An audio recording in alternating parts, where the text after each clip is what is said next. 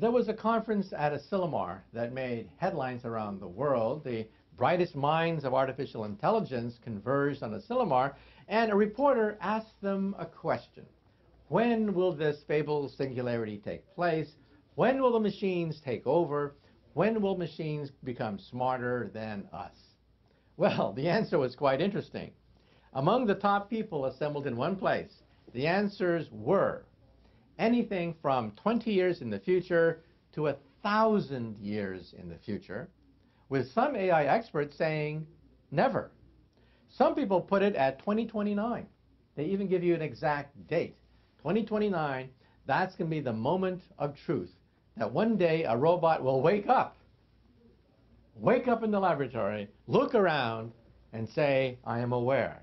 I'm just as smart as you. In fact, I could be even smarter if I put a few more chips in my brain.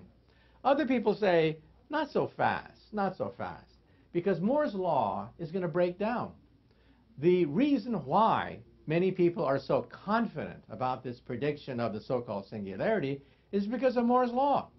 That computer power doubles every 18 months, and it's a, it's a curve that has held sway for 50 years. If you go back 100 years, back to the time of mechanical hand crank computers, put that into Moore's law, and you still get a nice fit. So believe it or not, Moore's law has been in operation for about 100 years, going back to hand crank calculators, with computer power doubling every 18 months. Well, can this go on forever? And the answer is no, because eventually physics takes over. And that is, physics says that silicon is unstable at the molecular level.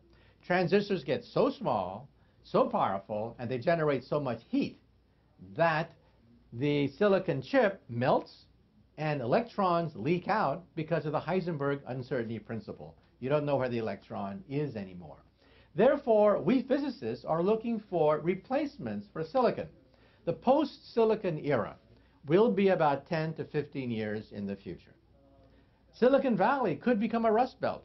Think about it. Every Christmas, your PCs, your computers, your gadgets will be just as powerful as they were the previous year. And then the question is, are you going to buy? Are you going to buy any more computer products for Christmas time knowing that they're just as powerful as they were the previous year? Probably not. Which means that the computer industry could begin to begin to shake as a consequence. So we physicists are looking at optical computers, quantum computers, DNA computers, protein computers, all sorts of different kinds of architecture, down to the molecular, down to the atomic, down to the microscopic realm. But none of them are ready for prime time yet. So my answer is, I don't know. All I'm saying is there's vast uncertainties in projecting Moore's law into the future. However, I would say by end of the century, I would say by end of the century, it is definitely conceivable that if we work out the technical problems, we might be able to create machines that are smart as us. Right now, our machines are as smart as insects. Eventually, they'll be smart as mice. After that, they'll be smart as dogs and cats. Probably by the end of the century, who knows, they'll be as smart as monkeys. At that point, they could be potentially dangerous because monkeys can formulate their own plans. They don't have to listen to you. They can formulate their own strategies, their own goals. And I would say, therefore, at that point, let's put a chip in their brain to shut them off if they get murderous thoughts. Isaac Asimov advocated something like that with his three laws. I say, hey, put a chip in their brain to shut them off if they start to get murderous.